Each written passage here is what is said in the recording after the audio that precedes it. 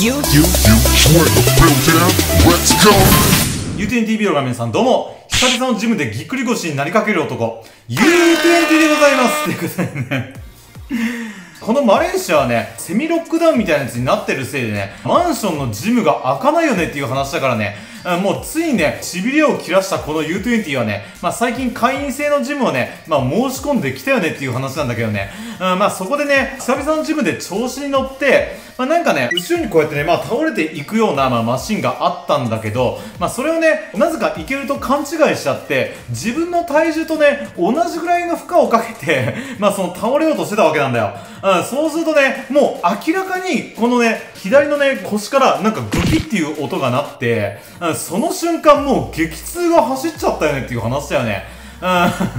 まあそれでね、しばらくちょっと痛すぎて動けなかったんだけど、うんこれはね、逆に動かないと直せないと、まあそういう風になぜか勘違いした U20 はね、まあその後カーディオマシンでもう普通にね、歩いちゃってたよねっていう話だよね。普通それ絶対しちゃいけないと思うんだけど、まあただね、ウォーキングをしてるうちになぜかちょっとマシになったよねっていう話だよね。うん。まあ、今回ね、この U10TV を通してね、まあ、てめえたちにね、伝えたいのが、意識高い系 YouTuber をね、まあ、プログラマーと見せかけてただの商材屋の学ぶがね、まさかの今大炎上しちゃってると、あいうことでね、もうこれはね、いよいよ第二の竹花高木になりかねないんじゃないかってということでね、もうこの U20 をね、物を申さずにはいられないよねっていうことでね、まあことの発端はね、アレックスっていうね、まあそのマナブのね、サロン生の人なのかな。あまあその人が、まあそのサロンのね、内部告発したと。あそれでね、本人が言うには、そのまあ、勉強会みたいなのをね、やろうとして、まあ、それをね、そのサロンの中のやつが見つけたのかわかんないんだけど、一方的に規約違反っていう風に言われて、サロンをね、もう強制退会させられちゃったと。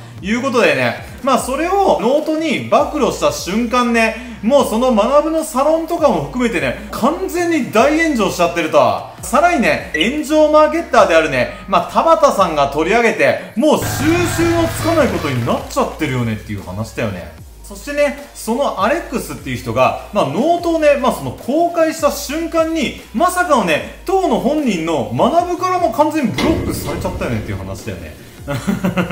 まあね、そのプログラミングスクールをね、一方的に強制退会させられた、そのことの経緯だったりとか、詳細をね、知られるのがよっぽどまずかったのかっていう話だよね。うん、ていうか普通そういうのがね、別に後ろめたくないんだったら普通ブロックしないじゃんっていう話だからね。うん、何てめえはね、そういう現実からね、逃げようとしてるのかっていう話だよね。そしてさらにね、ツイッターとかでまあいろいろね、情報収集をしてたら、香ばしい情報がもう一つ見つかっちゃったんだよね。うん。っていうのもね、マナブログのなんかストアみたいなところの、まあ利用規約のところにね、社名がどこにも書いてないのに、株式会社っていう表記があるんだよね。うん。で、それって本当なのかなって思って、実際そのリンク先に、まあ飛んでみたんだけど、マジでその社名が全く書いてないよねっていう話だよね。うん、なのに、どこからかね、取ってつけたかのように、株式会社だけ書いてて、以下当社と言いますみたいなね。うん、てめえの社名、一体どこにあるんだっていう話だよね。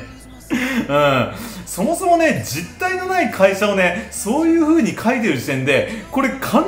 全にもうアウトじゃんっていう話だよね。うん、もう参戦でね、第2の竹鼻にね、なりかねないんじゃないかなっていうふうには思うし、まあ本人がね、やってた、例えばそのプログラミングスクールだったりとか、ビジネスをやって、まあ月収が数百万あると、まあそういうふうにね、自称してた化けの皮がもう剥がれちゃうんじゃないかなっていうふうにはもう思うよね。まあ結構これは以前からね、他の本業のね、エンジニアたちからも指摘されてることなんだけど、学ぶ本人はエンジニアの知識としてはもう本当にちょっとだけかじっただけで、マジでね、知識が全くないとは。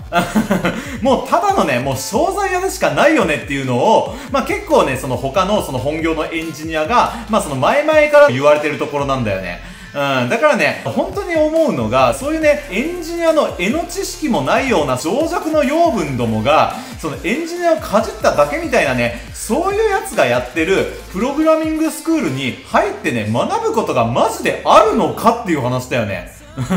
そんなやつがね、エンジニア稼げますだったりとか、月何百万ね、プログラミングで稼げるだの、まあ、そういうことを言っても一切説得力ねえじゃんっていう話だよね。うん、だからね、そういうなんかね、商材屋のね、わけのわかんない甘い誘い文句に騙されて、そうやってね、結局、てめえたちはね、自ら喜んで養分になりに行ってるだけじゃんっていう話だよね。だから本当にね、その学ぶのやってることっていうのも、実際にはマジでその竹花とね、全く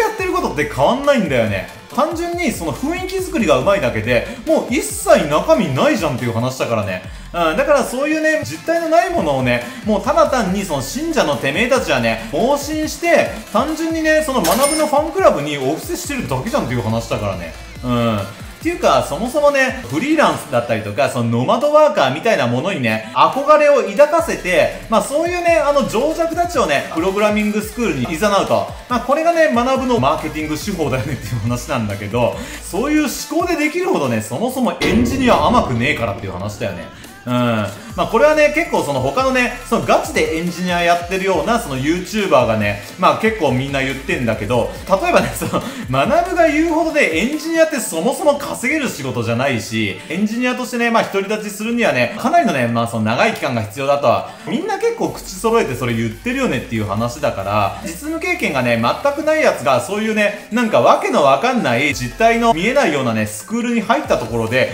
実際それでフリーランスでやっていけるかって言ったらその可能性ゼロだよねっていう話だよね。だからねあそもそもね、そうやってあたかも、そういう楽してね、金を稼ごうだったりとかね、そういう甘い考えでね、スクールに入ってること自体、マジでね、もう養分の始まりだよねっていう話だからね。うん、だからね、スクールに入ってる情弱のてめえたちがね、そういう甘い考えで、ノマドライフが送れるかって言ったら、それはもう絶対ねえからっていう話だからね。うん、マジでそういう養分どもは、もう今一度ね、竹花のスクールに入ってるやつは全く同じなんだけど、マジで考え改めた方がいいよねっていう話だよね。本当にね、竹花の例えば MP のサロン生とか以上に、その学ぶ信者の奴らがね、もうマジで俺は嫌いなんだよね。うん、っていうのはね、どういうところが嫌いかっていうと、もうね、あの、全員が揃いに揃って、学ぶのね、なんか文面だったりとか、ツイッターのね、なんかそのつぶやき方とかをみんな真似てんじゃんっていう話じゃん。うん、例えば、なんかね、今日の積み上げだったりとかね、バカの一つ覚えみたいに箇条書きだったりとか、例えば今日はブログを何本書いただったりとか、誰もてめえのことなんか興味ねえよっていうような、